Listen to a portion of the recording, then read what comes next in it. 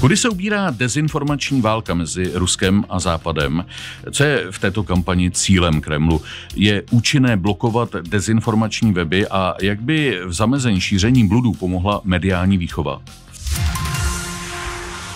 Hostem 20 minut, které vysílá radiožurnál a Český rozhlas Plus je expertka na dezinformace, vedoucí analytička společnosti Semantic Visions Monika Richter.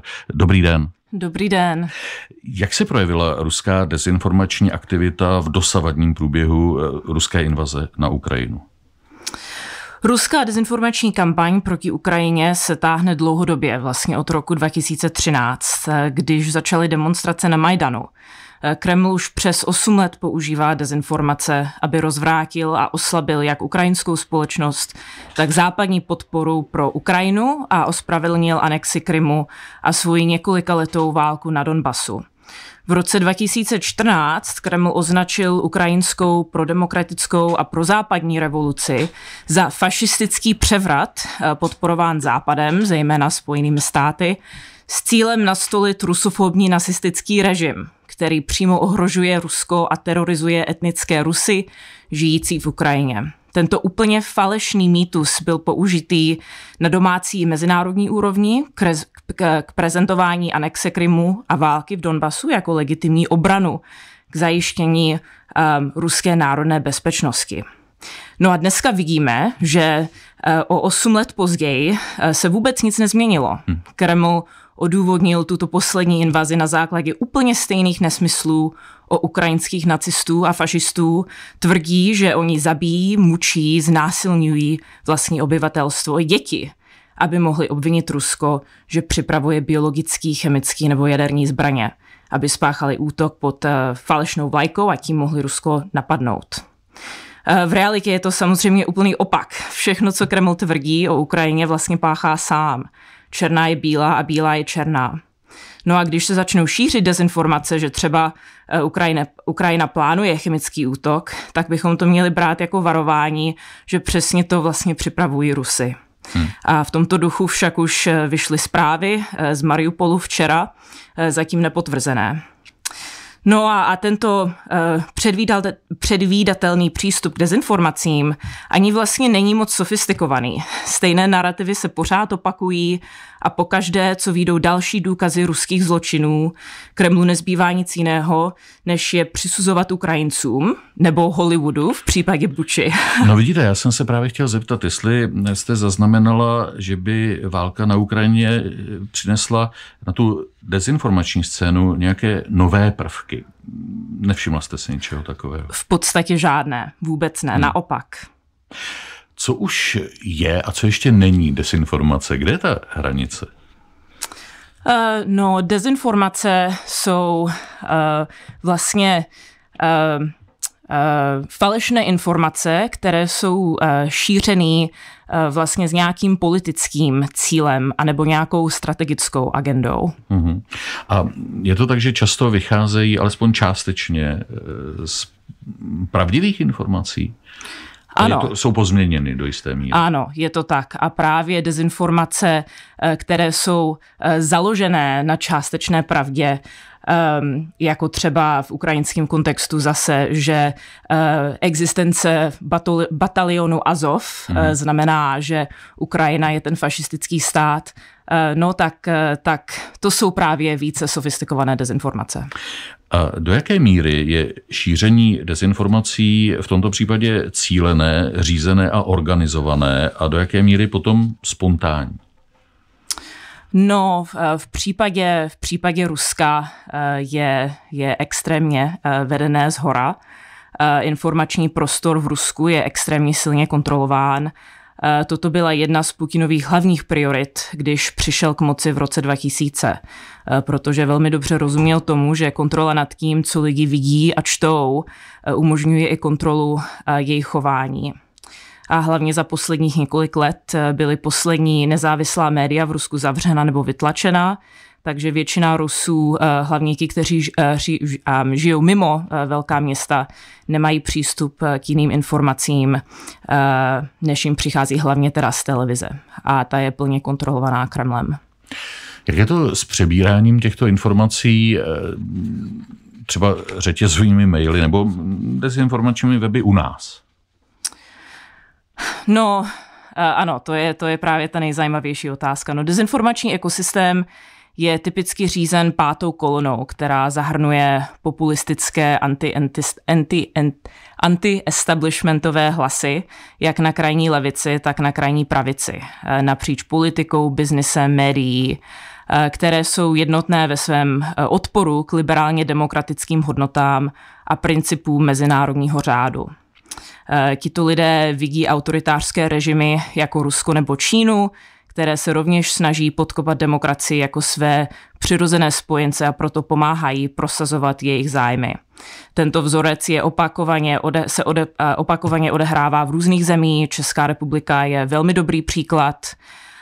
Um, No a e, řetězový maily jsou docela unikátní fenomén, ale v českém kontextu e, tady tyto nevidíme e, v jiných západních zemích. Hmm. No. Máte proto nějaké vysvětlení?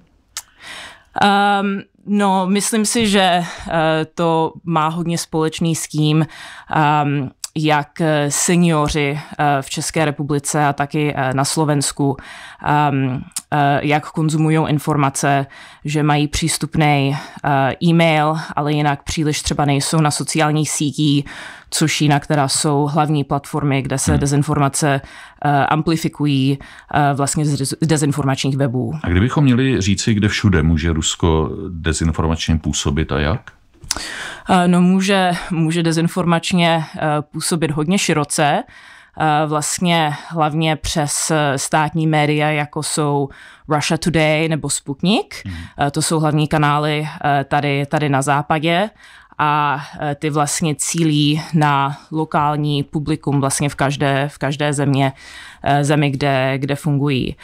Um, no a pak se to také přebírá samozřejmě přes sociální sítě a tam fungují jak samozřejmě ruští trolové, a, a taky e, oficiální účty například Kremlu a ruské státní zprávy, Eh, tak pak, je, pak také ti, kteří, kteří Rusy amplifikují, ruský dezinformace amplifikují. A dá se rozlišit, jak pracuje Rusko na dezinformacích zaměřených na vlastní obyvatelstvo a potom na těch, které mají sloužit vně? Určitě, no to je právě, jak jsem, jak jsem popisovala, že vlastně v Rusku je ta, ten informační prostor extrémně silně kontrolován. Takže Eh, televizi například Putin považoval a považuje stále jako nesmírně důležitou společenskou zbraň. Um, pro většinu lidí na západě, hlavně kteří uh, třeba nezažili komunismus, je tato úroveň informační kontroly uh, úplně nepředstavitelná. Uh, no a teďka třeba během války uh, už se to samozřejmě také zhoršilo, protože Kreml se snaží co nejvíce cenzurovat, uh, co se v Ukrajině opravdu děje. Eh, pamatujete, že, že původní plán byl Kýv dobít během pár dnů a hmm. pak tu speciální vojenskou operaci prezentovat jako obrovský úspěch a osvobození Ukrajiny. A když se to nepovedlo, tak eh, eh, museli vlastně přitvrdit a ještě víc svým občanům omezit přístup pravdivým informacím. Takže zablokovali Facebook, Instagram, omezili Twitter, no a teďka samozřejmě uh, také Eh, prezentace ruských vojenských neúspěchů a vůbec kritika eh, ruského válečného zapojení se bude trestat až 15 let eh, odnětí svobody. Hmm. Takže, Vy jste hm. řekla, že establishment velmi silně kontroluje ten veřejný prostor, hmm. ale asi to nelze absolutně. Existují nějaké mezery pro pravdivé informace? Eh, určitě, eh, to, to existují. Eh, například některé sociální sítě samozřejmě nejsou zablokované, jako Telegram a, a nebo WhatsApp, um, ale bohužel ta, ta situace je taková asi částečně díky potřeby psychické bezpečnosti um, z ruské strany, že spoustu lidí, prostě i ti, kteří mají přístup k pravdivým informacím, například o, od příbuzných, kteří žijou v Ukrajině, uh, té pravdě nevěří. A kdo pracuje na tom, aby informace o ruských vojenských prohrách, o brutalitě ruských vojáků, o válečných zločinech eh, k Rusům buď tedy nepronikly, anebo prošly patřičnou úpravou, uh-huh. budou zveřejněny? Uh-huh. No, kdo na tom pracuje? Pracuje na tom eh, sám, sám Kreml. Eh, tohle je, eh, jak říkám, extrémně silně kontrolovaná informační infrastruktura, jedna věc, co, čeho si všímáme v Semantic Visions, kde pracuji, že ten ruský mediální prostor, který teďka velmi intenzivně monitorujeme, Eh, že je extrémně reaktivní na oficiální výstupy Kremlu. Eh, v podstatě ruské zdroje aktivně a konzistentně amplifikují oficiální státní narrativy a to platí na televizní programy, noviny a všechno mezi tím. Eh, občas se třeba vyskytne nějaký slabý rozpor nebo nesouhlas, například některých talk shows na televizi, ale to se stává tak zřídka, že to působí jako nacvičená akce vytvořit dojem skutečného nesouhlasu. Ale i vlastně ty ruský, ruský média uh, jsou instruovaný uh, aby dodržovali přesně to, uh, co jim Kreml, Kreml nařídí. A je tam taky taková autocenzura nebo sebecenzura, že vlastně ani jim to nemusí být explicitně nařízený, že prostě šíří Eh, to, to eh, co přijde prostě ze zhora. Posloucháte 20 minut dnes s Monikou Richter, specialistkou na transatlantickou bezpečnost se zaměřením na dezinformace a vliv autoritářských režimů. Pracovala jste nějakou dobu v oddělení pro boj s desinformacemi v Evropské unii East Stratcom. Eh, co jste v té skupině dělala a proč jste v roce 2020 odešla? Hm. No i Stratkom se hlavně věnuje monitorování a odhalování ruských dezinformačních operací v Evropě a v zemích východního partnerství. A také eh, jim čelí strategickou komunikací a podporou pro různé iniciativy v rámci vzdělávání, mediální gramotno, gramotnosti, žurnalistiky a tak. Eh, no a moje práce zahrnovala hlavně psaní a analytiku pro EU eh, vs Disinfo, EU versus Disinfo, to byl náš veřejný kanál, kde jsme třeba vysvětlovali a předpovídali vývoj ruských dezinformací na určitý témata, například k evropským volbám eh, a jiný případy jako sestřelení letu MH17 a otrava Skrýpala. Eh, další důležitý aspekt eh, této role bylo briefování politiků a lídrů na úrovni EU a členských států o tom, jak funguje autoritářský vliv. Nejen dezinformace, ale to, to je důležitý, ale kultivace té páté kolony, o které se mluvila, infiltrace západních společností prostřednictvím politiky, obchodu, eh, finanství a tak dále. No a v tom roce 2020 jsem podala výpověď vlastně na protest, když šéf SVY, to byla ta služba, kde i Stratkom eh, je zabudovaný, Josep Borel, nařídil mému týmu, abychom autocenzurovali zprávu o čínských dezinformacích o covidu. Tento pokyn vlastně přišel přímo od čínské vlády, která se snažila intenzivně v té době potlačit jakoukoliv kritiku o své roli ve vzniku pandémie. Asi není potřeba to rozvíjet do detailů dva roky později, ale je pravda, že tento případ krásně vykresluje, jak Evropská unie je dlouhodobě neschopná si silně postavit proti autoritářskému vlivu. Před dvěma lety jste pro i rozhlas o dezinformacích a hlavně o postoji unijních byrokratů řekla, teď cituji vaše slova, mm-hmm. berou to jako technologický problém, nevyhnutelný je v související s tím, jak proudí informace na informační dálnici v kyberprostoru. Téměř nikdo s nimi nepracuje jako s politickým problémem a s bezpečnostním rizikem pro Evropu. Tolik citace. Změnilo se na tom něco podle vás? Uh, podle mě ne. Uh, a k tomu bych řekla to, že samozřejmě mluvíme o vlastně velmi komplexním problému. Um, musíme si uvědomit, že vlastně to není ojedinělý problém. Někdy mě i frustruje pojem dezinformace, protože může vést k nepochopení toho plného problému. Anglicky tady toto nazýváme information disorder, a do češtiny bych to pře- eh, přeložila asi jako informační porucha.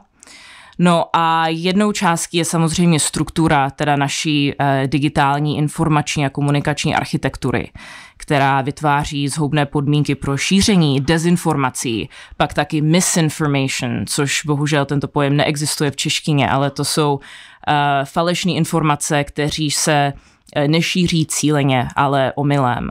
Eh, konspirační teorie a další eh, škodlivý obsah. Uh-huh. Takže to je ta jedna část. A pak ta druhá část samozřejmě je právě to, co Evropská unie neřeší. Mm, a to je ta válka proti pravdě a proti demokracii, kterou vedou zase autoritářské režimy, nejen Rusko, ale Čína, Irán a další. Vy říkáte, že to Unie neřeší. Opravdu se to nezměnilo ani po tom 24. únoru eh, po invazi Ruska na Ukrajinu. Není teď eh, v tom Evropa, řekněme, obezřetnější?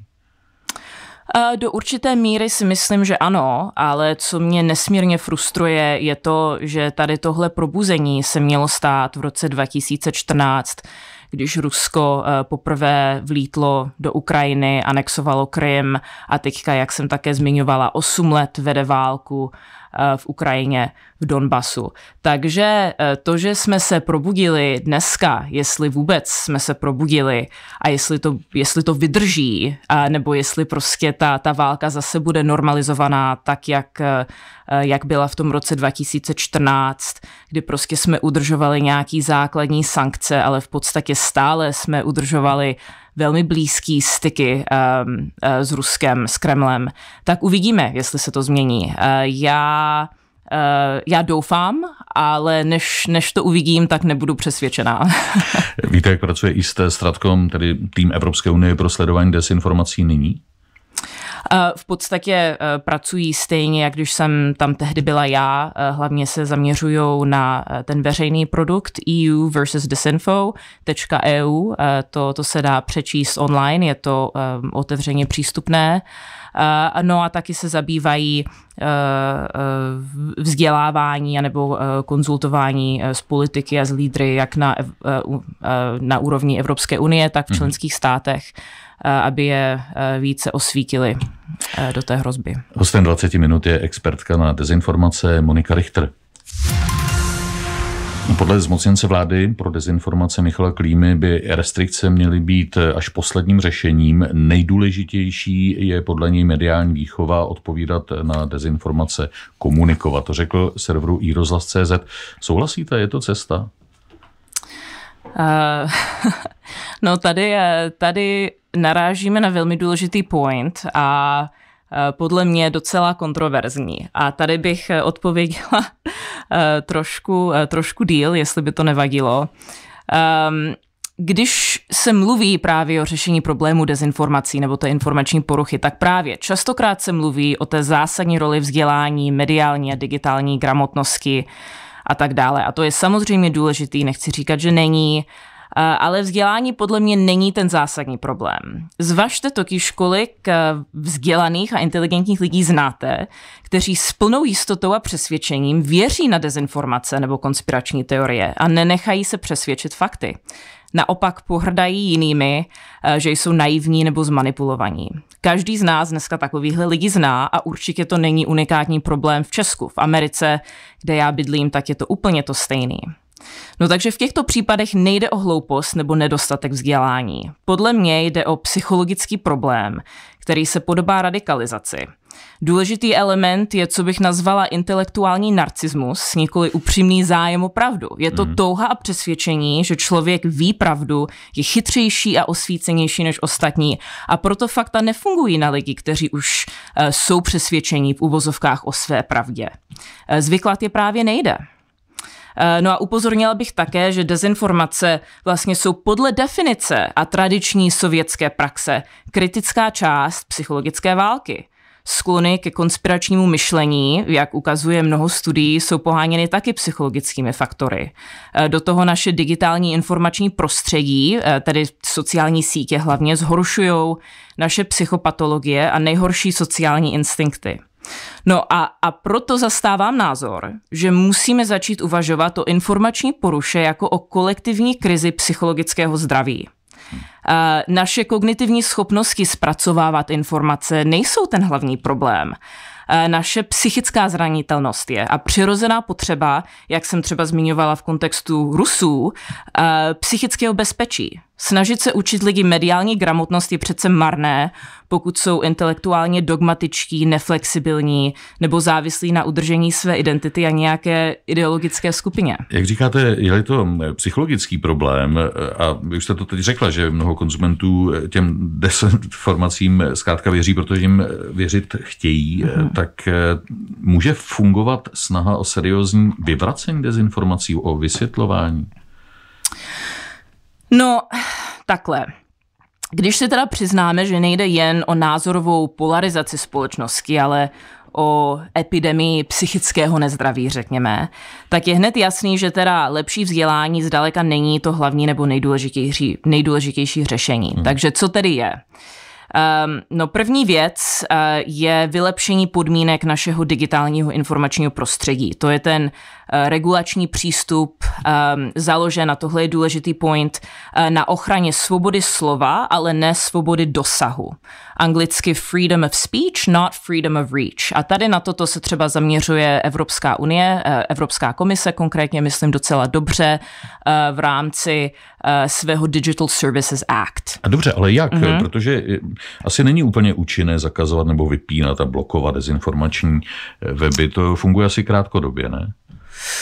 Uh, no, funguje to, funguje to krátkodobě určitě. Jako ta hlavní věc tady v tomto ohledu je v podstatě omezení uh, amplifikace uh, škodlivého hmm. obsahu. Jo? A, a to v podstatě je pak regulace teda uh, uh, těch takzvaných algoritmů, který uh, determinují vlastně, jaký obsah vidíme, když se podíváme na svůj facebookový profil anebo na Twitter. Jo? Takže jenom, ale abych, abych to dořekla, jo? takže to je, to je teda jako ta jedna věc, jo? ale k tomu bych dodala, že o věci taky musíme přemýšlet terapeuticky a zahrnout do veřejné debaty odborníky na psychologii a psychickou výchovu. To já nejsem, ale obecně bych řekla, že bychom měli cílit k občanské výchově intelektuální pokory. A chápu, že to možná zní abstraktně, ale znamená to například učit děti a studenky, že není nic čestnějšího, než umět přiznat chybu, nebo že něco nevíte a měnit své názory na základě nových důkazů. Spokojit se s kritikou a nejistotou ve stále složitějším světě. Hmm. Rozpoznat hranice vlastní znalosti bez ztráty vlastní hodnoty. Eh, vyhýbat se potřebě intelektuální dominanci nad ostatními. Jenom v krátkosti, jak funguje ta eh, vaše analytická firma, kde pracujete, na co se zaměřuje Semantic Visions? Eh, my se zaměřujeme na semantickou analýzu. Máme databázy a stále skrejpujeme asi 90% webového obsahu přes 12 jazyků světových jazyků hmm, tedy. Hmm. No, uh, vy tvrdíte, že jste eh, schopni v reálném čase pokrýt těch 90% globálního internetového ano, je to tak. obsahu. Já si říkám, jestli to vůbec je možné. Eh, no, je to možné, protože to děláme hodně dlouho a máme automatizovaný systém, který vlastně stále sbírá nové zdroje a, a vlastně tu celou sbírku našich dat mm-hmm. zvětšuje každý den a všechno také archivujeme. A to znamená, že vy zaznamenáváte, odhalujete ty pravděpodobné tedy dezinformace. Ano. K čemu je to dobré ve chvíli, kdy říkáte, že ve, i když víme, že to dezinformace mm-hmm. jsou, tak to s určitou částí populace nic neudělá, protože ona zkrátka chce věřit, že má svoji pravdu. Eh, je to tak, ale eh, to neznamená, že bychom eh, tady tento obsah neměli monitorovat. Naopak to je extrémně důležitý, jak jsem říkala, například v kontextu teďka té války v Ukrajině.